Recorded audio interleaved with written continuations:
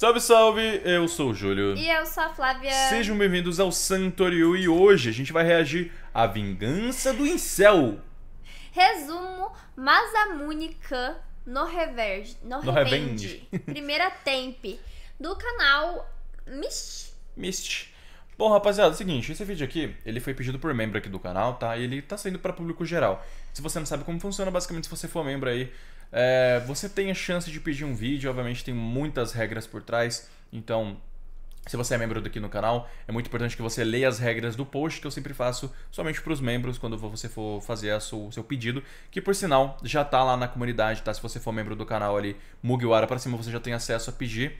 É, então é só você acessar ali a comunidade, procurar o postzinho que eu fiz, e aí lá você faz seu pedido, beleza? Enfim, recomendar esse vídeo aqui pra gente. Acho Primeira que é de vez. de anime, né? Pelo, pelo título. Uh, parece ser mangá, aparentemente. Parece ser um resumo, mas é um de mangá. Pelo nome parece, eu não sei, deve a ser um anime. Vingança do Incel. É... E o seguinte, cara. Primeira vez que a gente vai reagir um vídeo do Mish. O canal dele tá na descrição, vão lá dar um apoio pra ele, tá? Então não sei como que funciona. Vamos conhecer pela primeira vez, mas eu já vou Será logo que é avisando. aquele anime do menino que era gordinho e aí do nada ele fica maromba, ele entra num outro corpo? Não faço ideia. Não sei, enfim, vamos ver. Enfim, rapaziada, já sabe, né? Se inscreva aí no canal pra ajudar a gente. Estamos em busca de pegar 50 mil inscritos aqui no canal. Então dá esse apoio pra gente. E obviamente vai no canal do Mish também, dá um apoio pra ele, tá? Play. Repostado? Caraca, Da tomou da Nintendo? Nintendo. O que que ele Oi, colocou? é, bom dia.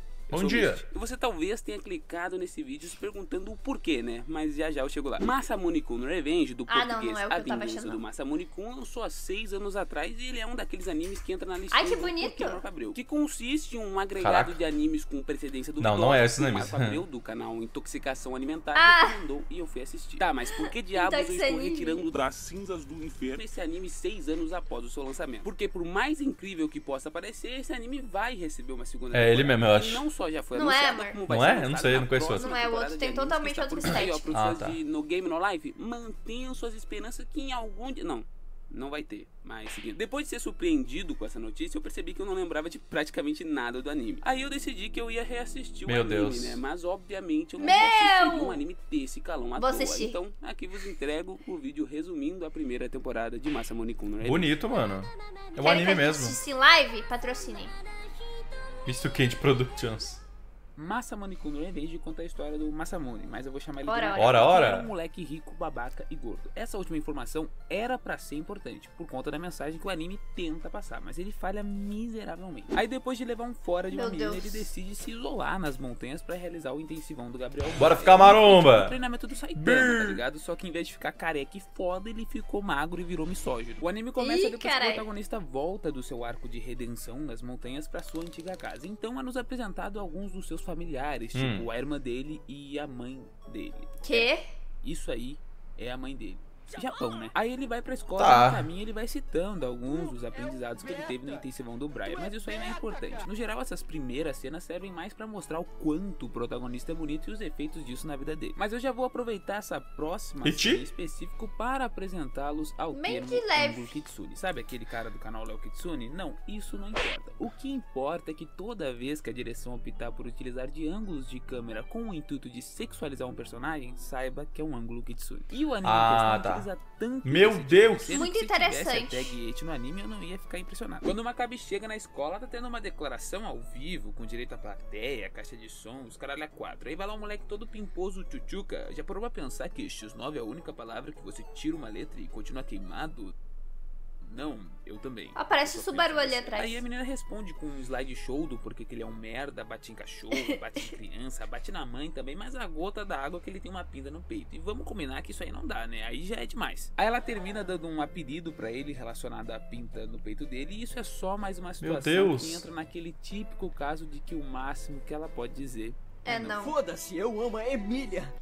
Aí eles dão todo Caraca. um peso pro acontecimento, como se a vida escolar do moleque fosse acabar depois daquilo. E meio que acabou mesmo, mas foi porque ele, junto com a outra meia dúzia de personagens que passarão por esse evento, vão ser completamente descartados no percorrer do anime. Então a gente vai pra uma cena que poderia estar facilmente em um manhwa yaoi, onde um personagem que jamais sequer teve uma mínima interação de olhares chega da forma mais galanteadora possível pra cima de outro personagem sem nenhuma explicação pra Caraca. Porém, essa situação serviu tanto de thumb pro Intox Anime, quanto pra gente descobrir que essa arrasadora de corações é a mesma menina que rejeitou o protagonista no Ah. passado. E ela tava lá porque tinha um moleque daquela turma que deixou uma carta pra ela com conteúdo no mínimo duvidoso. Aí a Adagaki, que é como é chamada a menina, teve que lá cumprir o seu ofício, né? Que já virou o trabalho dela humilhar gente. Aliás, humilhar gente não, né? Até porque homem nem gente Meu é. Deus, Mas, cara. gente, que maldade.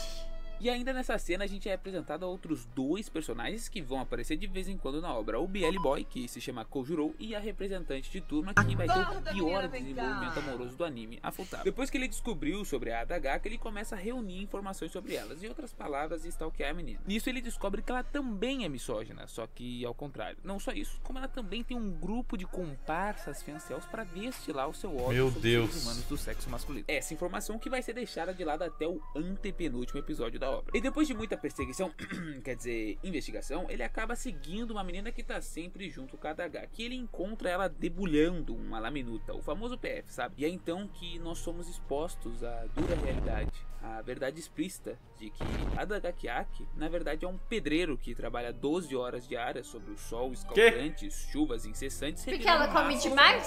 Até porque ela come o equivalente a quatro ursos no período Ah. Cata. E eu vou ser obrigado a Pimbas. O que que Pode tem? ser a Eu até conheço uma pessoa assim. do mundo, por exemplo, Manuel Gomes, caneta Eu azul. também. Perderia completamente o seu charme no momento que eu soubesse que ele come mais de três pratos de comida. Deveria ser crime isso aí, inclusive. Enfim, agora que ele sabe o segredo dela, isso faz com que ele consiga se aproximar dela sem levar um expose. E ele usa e abusa disso, mesmo ela tratando ele com todo o carinho e amor possível. E falando nela, depois do término do seu período letivo diário, durante a sua volta para casa, mesmo após tendo ingerido três bois, 4 quilos de arroz e meia dúzia de ovos, ele estava novamente faminto. Então ela pede pra Yoshino ir buscar um cafezinho bem light pra ela. Só que aí já viu, né? Mamãe dormiu, fumaça subiu, fecha o olho que lá vem Que tombo. O molequinho que ela tinha apelidado como o príncipe dos patetas, Meu aquele Deus. da carta de conteúdo Meu Deus do céu, tô com medo. Pra cobrar a menina. Mas não é porque ela humilhou ele na frente de todo mundo, ou então porque ela desprezou os sentimentos dele pelas pernas dela, e sim porque ela tá andando muito com o Macabe pro gosto dele. Então, Ah, no calor pronto. do momento, ele puxa o cabelo dela e saca uma arma mortal. Que isso? Vai cortar,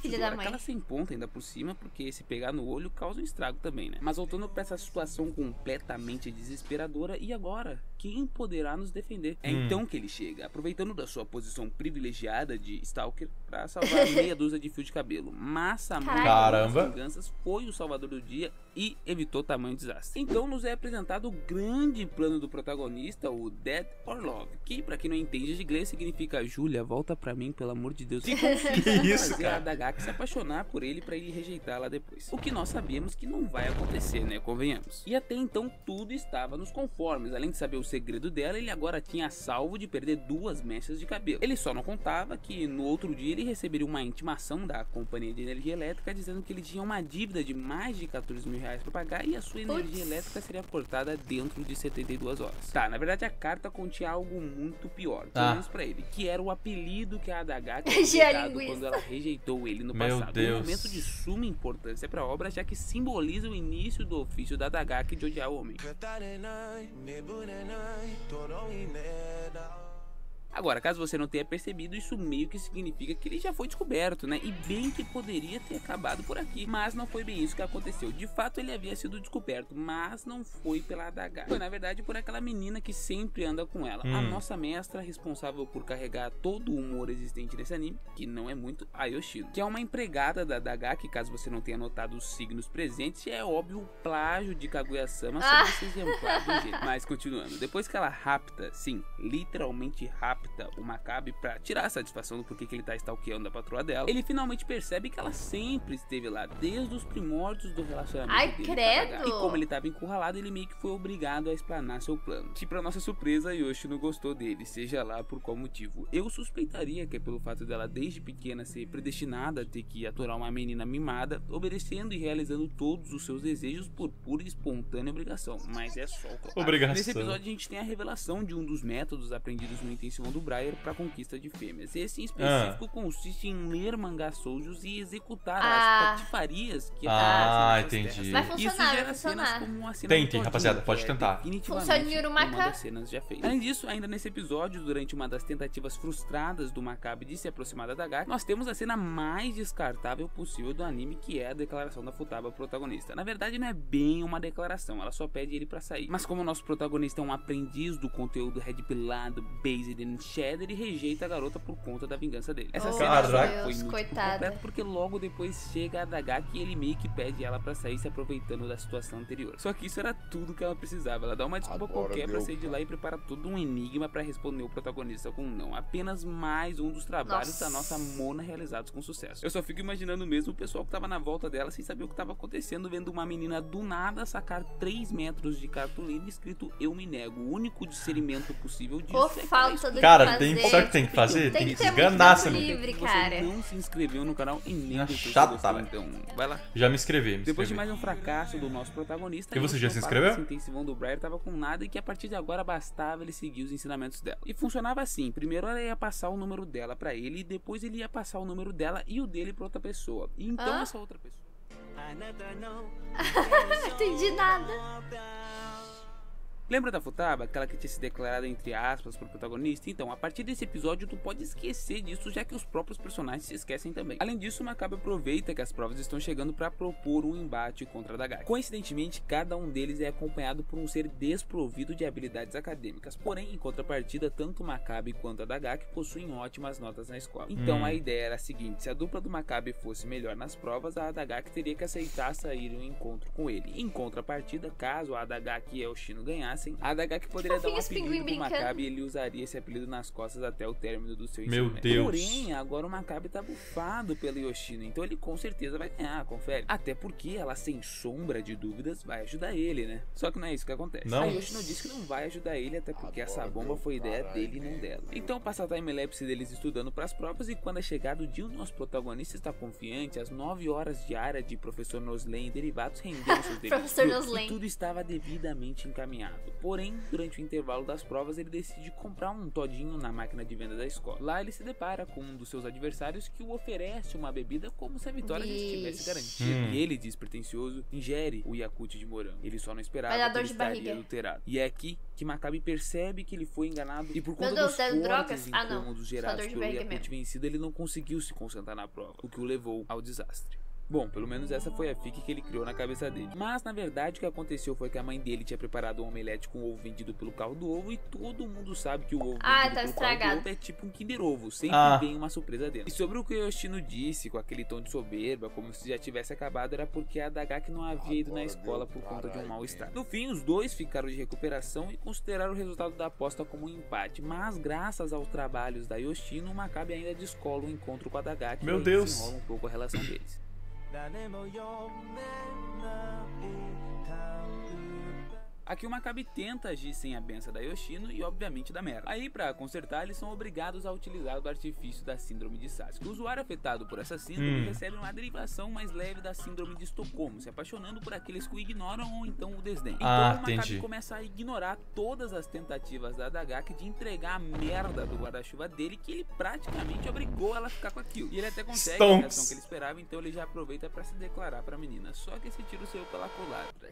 Seja mal, que caralho, seja porra de uma culatra. E além dela ficar brava com ele, ela também descobre que ele anda se encontrando com a Yoshino. Aí, pra resolver essa situação, a Yoshino chega nela tipo, é isso mesmo, piranha, eu estou falando com o Maccabi, vai Ih, fazer o quê? cai. Aí ela ficou toda de tsundere, não, mas eu não me importo, pipipipopopó. Só faltou a Yoshino dar um tapa na cara dela e falar, escuta aqui, sua merdinha. Tá, tá, mas a gente já tá quase na metade do anime e vocês não estão sentindo a falta de alguma coisa assim, típica de Hong Kong? Não bateu esse sentimento em Romance. vocês? Se bateu, pode ficar tranquilo que isso está chegando e chega quase atropelando a Dagaki, literalmente. Meu Deus. Sim, a empata foda, a amiga de infância, aquela que vai desviar o nosso protagonista Ah. do caminho do bem, o ser responsável por esse anime ter 12 episódios e não 5, ou o interesse romântico 2. Que é uma mina aparentemente random que sequer havia dado as caras na obra ainda, mas chegou do jeito certo, né? Tentando acabar com a sua competitividade. Caraca! Meu Deus, ela quase novamente Ah, tá. aproveita do seu posicionamento estratégico e privilegiado pra mais uma vez salvar o dia. É, Aí essa menina que tava no carro que quase atropelou a Dagak sai do carro pra pedir desculpas, mas ela chega lá se jogando no Makabe e aparentemente ela conhece o Makabe, só que o Makabe não conhece ela. E o episódio termina nessa situação aí.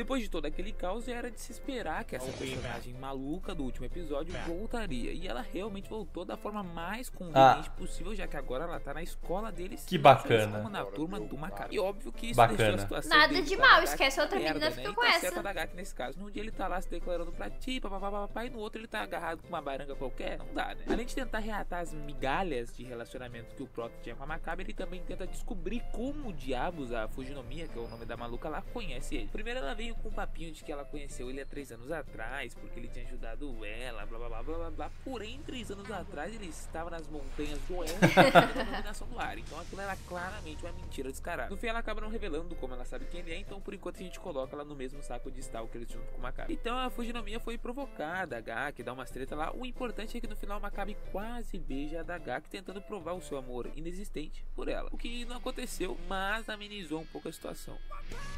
눈을 삼아 깨어지는 원 Aqui o nosso protagonista começa a cair nos encantos do interesse romântico 2. Além de ser stalker que nem ele, ela também é toda regrada em relação à alimentação. Mas no caso dela é por uma questão de saúde mesmo. O importante Putz, desse episódio caraca. é que tanto a Fujinomiya quanto a Yoshino vão parar na casa do Makabe e lá eles fazem um episódio de festival de fogos, sabe? O episódio padrão de anime. Tem que ter, né? Tem, sempre. Uma coxinha e um caldo de cana. Além disso, É a muito engraçado isso. rouba a foto que o Makabe tinha tirado com a Dagaki na época que eles se conheceram. Nossa, mas ele parecia um boneco. Episódio de praia.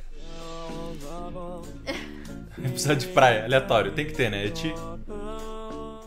Nesse episódio, além de estragar um novo encontro com a Dagaki, o protagonista finalmente se fraga que a foto dele foi de Drake Josh. E não precisa ser nenhum L da vida pra saber que foi a Fujinomiya. Então ele decide buscar a foto na casa dela. Aí dá uns bolos, ela acaba beijando ele, aí depois ele Rapaz. rejeita ela. E aparentemente ela conheceu ele no passado mesmo, mas ele não lembra. Enfim, o importante é que ele consegue a foto de volta. Depois disso, a Fujinomiya decidiu fazer drama e simplesmente sumiu. Então Ah. a Makabe Gang é acionada e eles começam a procurar por ela. Meu Deus. 何 bullshit.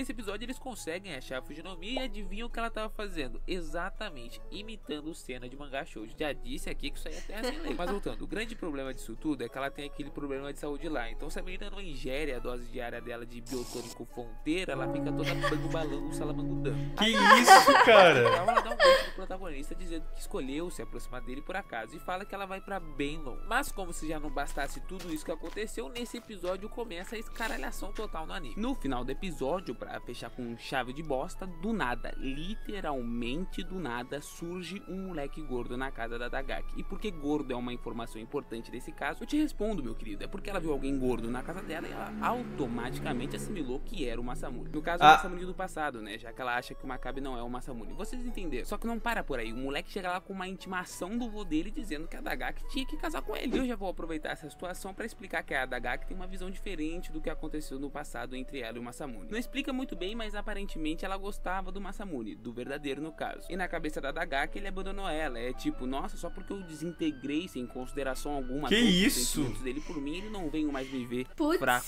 Então ela ainda meio que gosta do Masamune, por isso ela fica toda passiva perto desse moleque que diz ser o Masamune. O mais incrível nessa cena é que o moleque fala com todas as letras, kanji, sei lá, que o nome dele é Gasoka Netsugo. Só que a Adagaki ignora isso completamente. Tem problema não, pô. Anime. That's all. Enquanto Kanetsugo se passava pelo Masamune, o próprio, após os eventos com a Interesse Romântico 2, percebeu que ele ainda não estava pronto para o caminho da vingança. Então ele decide voltar para as montanhas para terminar o seu treinamento e voltar mais capacitado. O seu retorno é recheado de surpresas, né? Além do novo amigo da Adagaki, a Fujimiya também tá lá, mesmo depois de todo aquele drama que ela fez. Mas a partir daqui ela se torna irrelevante. Então voltando pro que interessa, a chegada do Masamune Fake causa bastante rebrimbolo, se é que essa palavra existe. A Adagaki começa a ignorar o protagonista, o grupo de pincel da Adagaki entra entra em choque, até o Shino não sabe o que fazer. E piorando ainda mais a situação, o Masamune Fake faz uma união sinistra com as comparsas Fencels da Dagaki pra evitar que Makabe Que ficar com. Em meio a tudo isso, está prestes a começar o famoso festival escolar. Então a Futaba tem a grande ideia de fazer uma peça da Branca de Neve e Yaoi. E por que isso é importante? Você me pergunta, Yaoi? porque coincidentemente a turma da Dagaki também teve a mesma ideia. Hum. Aí vai discussão, vai discussão, eles decidem que as duas turmas iriam fazer a peça da Branca de Neve. E o Makabe, que não é bobo nem nada, decide apostar com Masamune Fake que caso a turma dele obtivesse uma melhor recepção do público, ele poderia dançar com a Dagaki no final do festival. E caso a turma do Masamune Fake ganhasse, ele faria o mesmo ato. Isso, claro, sem o consentimento da Dagaki, até porque quem precisa disso, né? 11 e 12. Penúltimo e último. Esse Eles vão dançar loucura, junto no tá? final Eles e é isso. ensaiar pra peça antes do dia do festival e tem duas coisas que eu preciso citar antes. A primeira que pode ser relevante pra segunda temporada que está por vir é que aparentemente o Kojuro começou a nutrir sentimentos pelo interesse amoroso número 2. Mas isso fica por terra por Hum. enquanto. E além disso também temos a explicação da existência do Masamune Hum. Basicamente ele é um random que acabou se encontrando com uma conhecida da Dagaki, ela achou que ele era o Masamune, no caso o Masamune antigo, e entregou um cartão da família da Dagaki pra ele. E ele entrou nesse RP porque a família dele tá indo à falência, então ele pretende dar um golpe do baú nela. Ah. Dito tudo isso, finalmente Esperto. é chegada a hora Stonks. do grande embate. De um lado temos o Masamune Fake acompanhado de suas comparsas Pincel, e do outro temos Makabe aconselhado pela mestra Yoshino e fudido de grito. O duelo já começa agitado, já que as comparsas Fencels decidem sequestrar o Makabe e por conta do debuff da gripe dele, elas conseguem facilmente. Elas só não contavam que a agente infiltrada na Makabe Gang teria a mesma ideia, sequestrando o Masamune Fake. E agora com os dois príncipes desaparecidos, as duas peças estavam completamente arruinadas. Porém, a primeira peça a se apresentar era do Masamune Fake. E, em uma tentativa desesperada para conseguir realizar a peça, elas liberam o Makabe na crença que ele vai fazer o mesmo com o Masamune Fake. Elas só não sabiam que o Makabe não fazia a mínima ideia do plano da Yoshino. Nesse Meu momento, Deus. a peça da tomada da Gaki estava fadada ao desastre, mas ela não desistiu. Mesmo sem o príncipe, ela decide começar a peça, até porque quando ela mais precisa, o príncipe nunca está lá. Oh, meu Deus, E que o Makabe, que triste. ficou comovido com essa situação, decide substituir o Masamune Fake como príncipe daquela turma. O único problema é que ele estava completamente fudido de gripe, pique 40 graus de febre. Nossa. Aí depois de quase arruinar a peça algumas vezes, chega a tão esperada cena do beijo. Vai passar doença pra ela, É, né? vai passar gripe pra ela. Onde ele real desmaia de febre na boca da menina e a peça termina com ele voando pelos ares com um jab de direita da Dagai. E assim, eu não sou nenhum especialista no assunto, mas eu acho que a história da Branca de Neve não termina assim. O resto desse episódio ele vem num karaokê, não acontece nada demais e acabou o anime aí. E é isso, Ah. né? O vídeo vai ficando por aqui mesmo. do nada. Assim? tenham gostado. Podia ter acabado no anterior, então. Oxe, no cu é pai, eu vi, hein? O seu gostei aqui embaixo e se inscrever no canal, até porque é de graça, não custa absolutamente nada. E é só isso, pode ir embora. Tchau. Cara, acaba assim então, tipo, cadê? Cadê o resto? É a segunda temporada que vai sair. Meu Deus do céu. Cara, enfim, mano, que canal bom, velho. Eu gostei. Muito da hora, muito Gostei, da hora o mano. resumo, gente. Mist. Vão lá, se inscrevam, o cara é brabo. Eu curti muito. Ele fala bem, ele edita bem, então realmente gostei É muito do conteúdo. Se quiserem mais vídeos dele, mano, é só pedir aqui no canal, nos comentários, tá? O canal dele tá na descrição, vão lá dar um apoio pra ele. Também apoia o nosso canal aqui, se inscrevendo, que é muito importante. Estamos em busca de pegar 50 mil inscritos no canal, tá? Então é nóis, tamo junto. E bye. E tchau.